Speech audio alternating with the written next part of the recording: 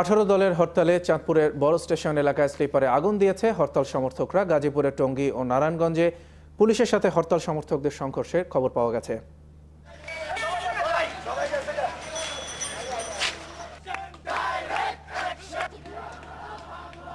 নারায়ণগঞ্জে সকালে মদনগঞ্জে ঢাকা সড়কে গাছের গুড়ি ফেলে ও আগুন ধরিয়ে অবরোধ করে ছাত্রদল। পাইকপাড়া থেকে হরতালের সমর্থনে আরও একটি মিছিল বের হয়।